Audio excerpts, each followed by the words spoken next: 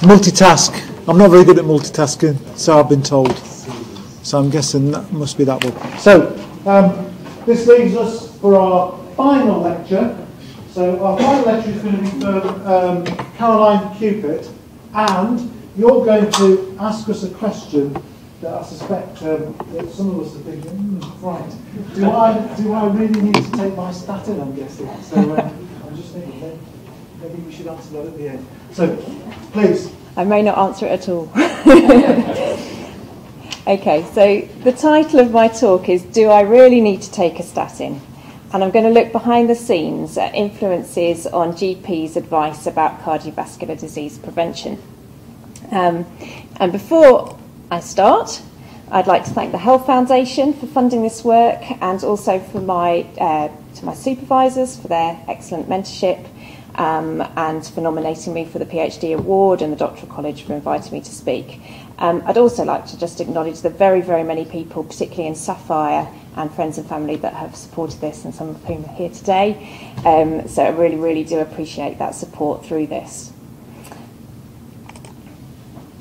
So this quote is perhaps a funny place to begin. It's from a 17th century sermon, um, but it illustrates the intuitive common sense of preventing disease in order to avoid the very real consequences.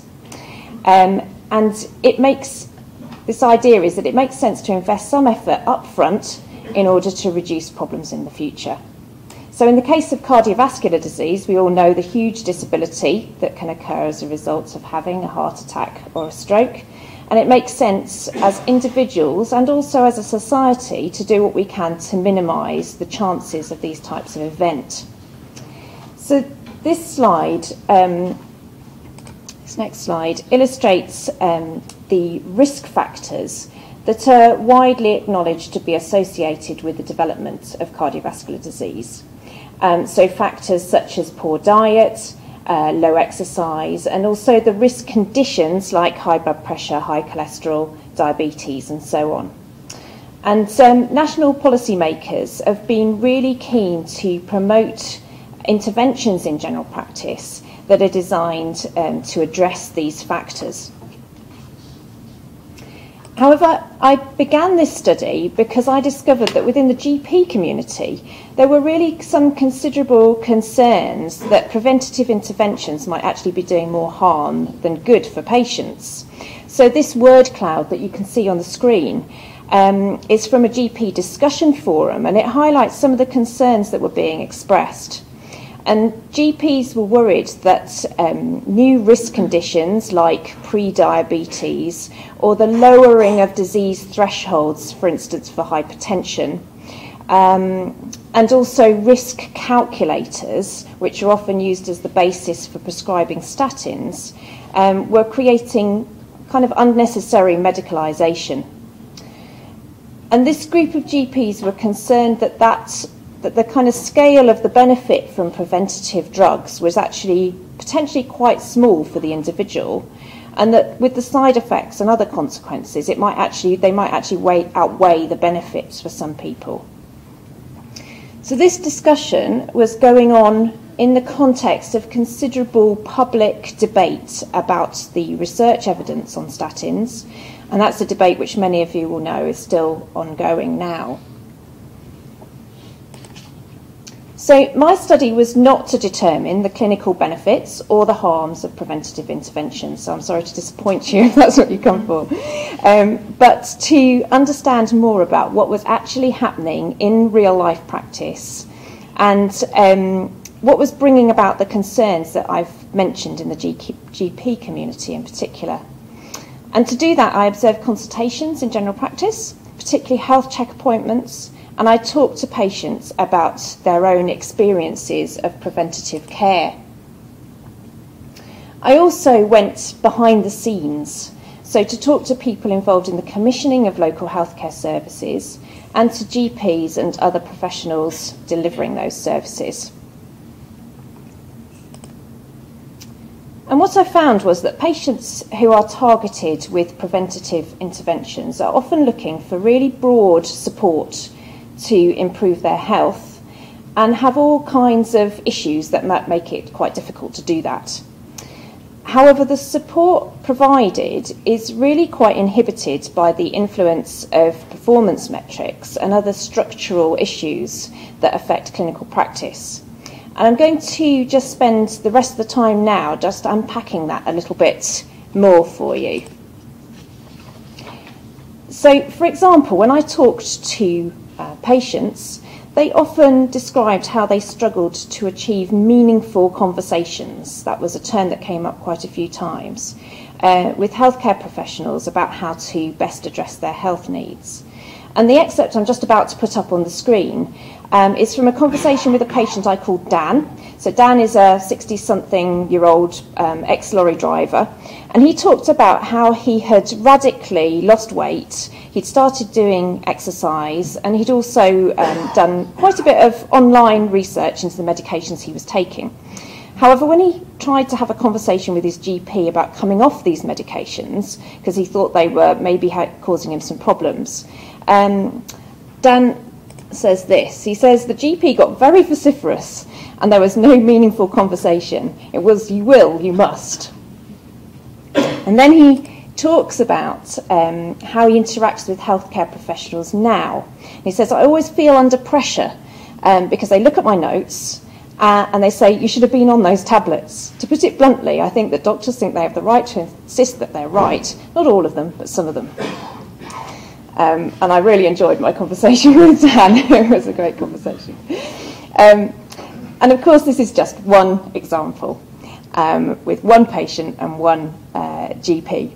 And not everybody had the same experience, but it was noticeable that when patients talked with healthcare professionals about their risk and how it should be managed, that they were struggling to get conversations that were specific to them so, we're making a decision about statins, for instance. Patients will be looking for support with making sense of the research evidence, perhaps, but also with working out whether, for them, as an individual, in their particular situation, the potential benefits are actually worth it and how statins might relate to other ways of improving their health, for instance. They're not usually hoping for just a standardized blanket information about lifestyle or about medications. And these kind of individualized conversations are what Annemarie Mol, the philosopher, uh, calls shared doctoring. And I think this is quite just a helpful way of summarizing. So it's the kind of care that gets worked out between the healthcare professional and the patient together that recognises that the starting point for a particular patient may often be quite a complex mix of health issues and all kinds of other stuff of everyday life. It's the kind of care that tries things out, like a statin medication, but then is prepared to adjust and adapt. And it's the kind of care in which the healthcare professional doesn't try and control the patient, but they are able to input their expertise into that decision. So, my conversations with doctors and practice nurses often tied in with uh, what patients had reported, although they maybe didn't characterise it in the same way.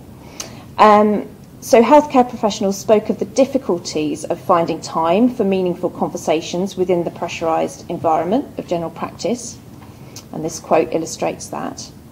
And that means it's easier for them to prescribe a statin medication, for example, rather than helping someone to reduce their risk of disease in other ways like changing their diet. And some healthcare professionals therefore felt that they were pressured towards pushing people onto medications. And in March's edition of the British Journal of General Practice, which will come out later this week, um, there's a short article that I put together with one of my GP participants about the stress of feeling pulled between delivering good patient care but also hitting performance targets and the kind of very visceral experience of, of tension that that creates. Title of this slide is also from an interview with a GP, and I've put it up here because the importance of recording decisions about statins and other medications um, came out quite strongly in my interviews uh, with professionals. And in particular, they talked about the need to record it on the notes if the patient declined treatment. Now, at one level, this is hardly worth commenting on, really. But at another, we can see it as a little bit of a clue um, into what's going on behind the scenes. So, recording a decision about statins on the notes isn't just to help the GP manage the, he- the patient's healthcare better. Recording that decision feeds into all kinds of systems through which the performance of the practice is monitored and rewarded. So, both the income and the reputation of a GP practice can be significantly affected um, by their um, performance in relation to the diagnosis and treatment of risk conditions with medications. And at a grander scale, GP records also allow managers and policymakers to calculate key statistics such as the number of lives and the costs that will be saved uh, through putting people on medications, at least in theory. Now, I don't have time to talk in detail um, about all the different measures and the calculations involved, but I do want to emphasise that they represent a, a, a really limited way of knowing about an individual patient and also what good care for that individual patient might actually look like. And there's nothing fundamentally wrong with measurement or even having incentives in place. Um, however, what my study was highlighting was that in the current context of general practice, with all the resource pressures that are affecting GPs' work, these measures and incentives have become really dominant and they do reorganise the work of GPs and others um, in ways that actually inhibit the kind of collaborative care that patients often need. Whether that be to come to a decision about statins specifically, or to make some of the really significant lifestyle changes that may be important for their underlying health. So, lastly, I just want to share a finding from the study that's geared more towards the healthcare professionals in the room. Um, there's a lot of talk about the importance of shared decision making or patient centred care in healthcare, um, but I found that these concepts are really quite slippery. So, this slide um, highlights, well, what I'm going to show you in a minute, highlights that it's very easy for clinicians to adopt the idea of shared decision making, when even by their own accounts, um, the interactions may not be likely to feel collaborative to patients. So, this excerpt here is um, from an interview with a really lovely, competent practice nurse talking about sharing decisions about uh, statins with patients. So she says you've got the barriers to start breaking down. It's what do you know about statins? What have you heard? What would you feel about taking them? And then you explain to them what the side effects are. If they have the side effects, then let me know because I'll stop the tablets. It, you know, it's up to them. They don't have to take them if they don't want to. It's going to reduce their risk, but I can't say for definite it means they won't have problems. It has to be their choice. So, what Lydia describes here is an increasingly prominent mode of clinical practice, and what Annemarie Mol, who I mentioned earlier, describes as embodying a logic of choice as opposed to a logic of care. So you'll note that Lydia describes how she does offer this choice and she doesn't force anybody to do anything. But what she also does is to kind of superimpose um, standardized ideas about how to treat uh, this patient over those individual concerns of the patient. Um, she corrects them as they bring misunderstandings about statins to the discussion. Um, and importantly, I mean, she, she was a really, really good practice nurse. This wasn't somebody that was a, a bad case at all. Um, but she sees what she describes here as representing an ideal model of shared decision making. But what I'd argue is that unless the patient is very determined or is able to bring some considerable expertise to this conversation, it's really uh, going to be difficult for them not to choose to accept statin, um, whatever you know their individual priorities or their concerns or uncertainties about doing so. And I'd argue that this approach that we see here is organised to happen as a result of the various performance measures and other institutional factors that shape how um, healthcare professionals are conducting these types of consultation. So, just some final thoughts um, about how this study uh, can contribute to improving patient care. So, just first, it contributes to a conversation about what is important. Is good care that healthcare professionals simply promote technical solutions, such as a statin technology or another approach? Or do we also need to value the time and the skill required to make these technologies meaningful to individual patients within the context of clinical practice?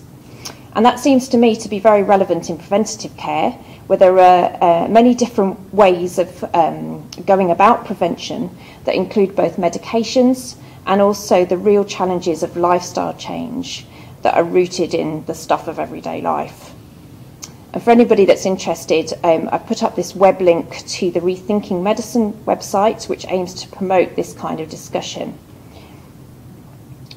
And second, the study highlights that we can't just focus on GP communication skills in order to improve care practices. So, in fact, healthcare professionals are often really frustrated themselves about the ways in which their ability to care is constrained. So instead, we do, I think, need to look at an institutional level in order to make improvements. Um, and that may sometimes mean prioritising slightly different goals to those that are embedded in the processes of performance measurement. So that's me done. Thank you very much. And I appreciate I've only given you a flavour of this, but happy to answer questions afterwards as well.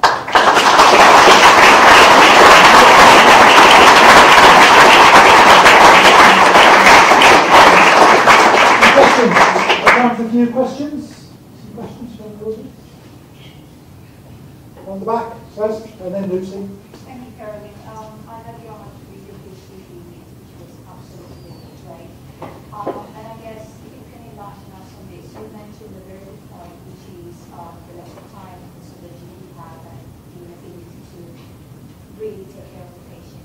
In your experience, based on your data, have you noticed that the compliance uh, to uh, care by the patient was disrupted? Like, if the patient had little time to spend with the GP, uh, they might not have been able to actually comply with the treatment given by the GP. Uh, did you notice the relationship? Yeah, so I mean, I wasn't able to really look at um, patient compliance, and in a sense, that wasn't the main issue. But there are obvious implications for this that if somebody goes away from a consultation not having felt that they've um, engaged with um, the medical professional, I would argue that compliance is likely to be lower. Um, but there's a danger in just assuming that everybody should be complying with a particular regime because actually the whole point of this study was to look from the patient angle and say, well, actually, you know, a statin might be recommended for somebody with a risk calculation of X percent, but actually that person, it might not be top of their priorities to be taking that medication. And I do think that that's a, a, a valid way of looking at it from the patient perspective.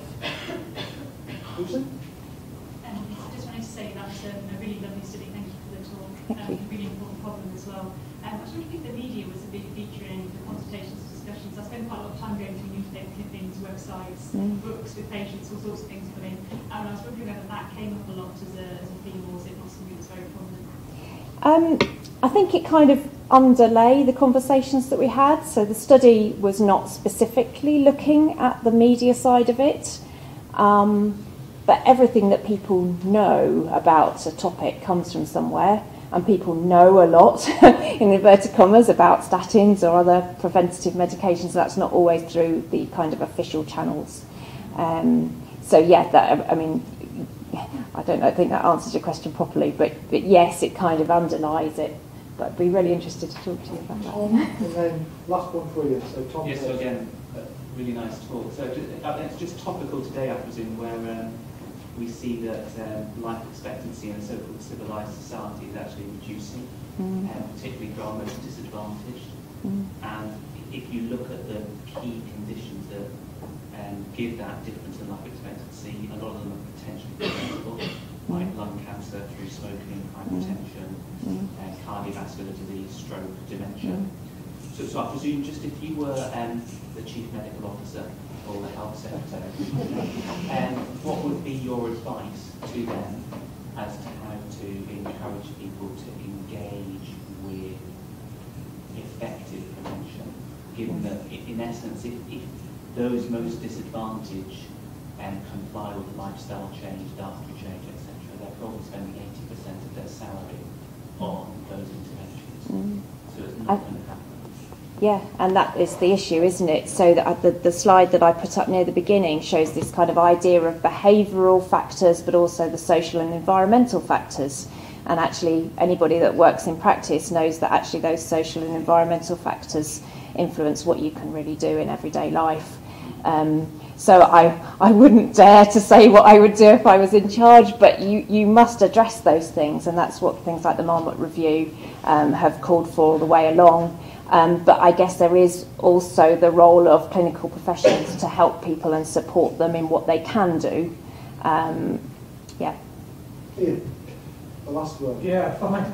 I, I think I should just um, say that the question I want to pose you is the one that's been discussed endlessly by heads of medical schools for the last three decades that I know of. And that is, you know, in terms of difficulty people have with communication, consultation skills, be they doctors or nurses or other are we selecting the right people the right way? There's a question, and again, probably beyond my competency level to answer it. But it is, you know, my, my campaign through this work would be to say actually these kind of consultation skills and recognising the importance of a really collaborative care system has to be, I think, a really top priority, whether it be preventative care or other forms of care. Um, and quite what that means for the selection of students, um, I'll leave to other people in medical education, she says, diving out of this quite quickly. um, but I do, in all seriousness, think that that's a really, Just- really big Just issue. that one of the suggestions that probably at one time was that we should introduce psychometric testing for all health professionals and medical students, but then when the heads of the medical looked around themselves and uh, none, of us would have ever got into the since. Yeah, yeah, no, that's interesting. But I think I'm going to save on. you. I'm going to save you from that because you might say something. That you, uh, I'm going to say. what do you know? Can I present you with um, an illuminated certificate? I think Wow. they call it. Wow. And can we get a shameless photograph? Thank you very much.